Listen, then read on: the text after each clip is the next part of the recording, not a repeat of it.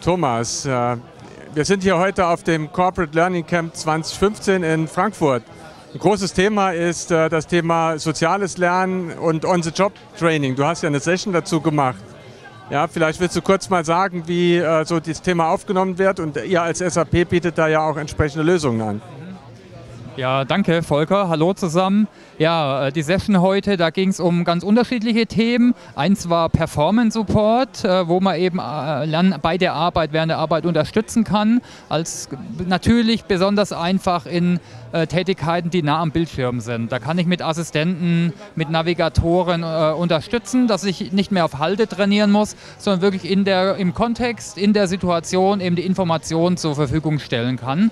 Ist auf jeden Fall ein Element, wo ich äh, wirklich während der Arbeit lernen kann und weniger auf Halte formell äh, lernen muss.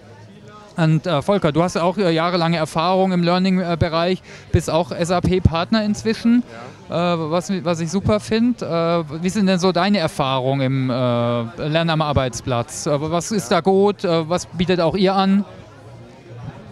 Ja, also einerseits natürlich geht es ganz klar in Richtung äh, soziale Zusammenarbeit und Lernen, das miteinander zu verschmelzen. Und äh, da bietet sich natürlich dann an, dass man in einem Unternehmen auch entsprechende Lösungen aufbaut für die Kollaboration, ja, wie das ihr ja mit dem SAP Gem hat, habt. Auf der anderen Seite haben wir halt auch einen Trend zu Thema informelle Wissensvermittlung. Das heißt, wir müssen dann kombiniert mit der Zusammenarbeit von Teilnehmern auch Wissen bereitstellen. Da entwickelt sich so ein Trend Content-Kuratierung, wo man also wirklich so äh, wissensdienstartig Playlisten, Channels aufbaut, denen die Teilnehmer folgen können und dann kriegen sie vorgefertigte, vorstrukturierte Inhalte zur Verfügung gestellt.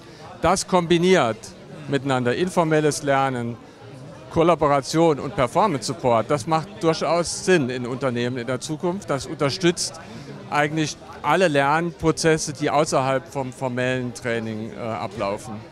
Ja. Vielleicht eine Frage mal dazu, äh, die wir auch diskutiert haben in der Session. Was rätst du denn Firmen, was so die ersten Schritte sein können, um mehr in die Richtung zu gehen, also formell weiterzumachen, aber eben auch noch mehr ähm, on the job äh, lernen und zu unterstützen?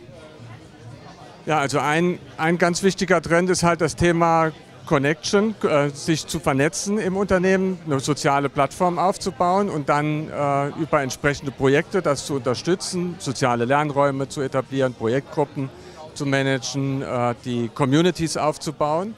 Und zum anderen halt sich zu überlegen, wie sieht eine Technologiewelt aus, die es unterstützt, dass ich viele Videos habe im Unternehmen, dass ich auch Inhalte kuratieren kann aus dem Web, also so ein digitales Mitarbeitermagazin aufzubauen, das mit einer Videoplattform zu verknüpfen beispielsweise. So sieht für mich eine Landschaft in der Zukunft aus. Ja?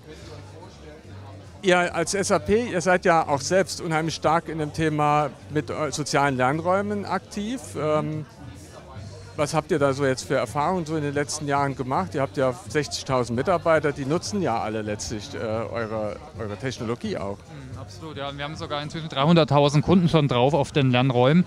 Äh, ich meine, auch da sehen wir natürlich, dass es eine Reise ist, wird unterschiedlich angenommen, aber es geht auf jeden Fall in die Richtung. Wir müssen auch äh, die verschiedenen Rollenprofile da unterstützen, wie die Trainer ihre Rolle weiter auszubauen in Richtung Moderatoren zum Beispiel. Aber es wird absolut äh, gut angenommen, jetzt praktisch nicht nur formelles äh, Training zu haben, sondern eben auch noch, dass die Menschen diskutieren können, die Lerner gemeinsam Inhalte erstellen. Ich denke, immer mehr machen auch die Erfahrung im privaten Umfeld und auch da prägt sich das aus. Was wir übrigens vorhin noch in der Session hatten, vielleicht noch ein Punkt, was ich interessant finde, natürlich sind die digitalen Elemente ganz wichtig, also auch wie Performance Support zum Beispiel, Prozesse zu unterstützen, aber wir brauchen immer ein Zusammenspiel, also auch Lernprojekte, Jobrotation gilt es natürlich äh, äh, zu fördern und damit eben äh, On-the-Job-Lernen weiter zu unterstützen.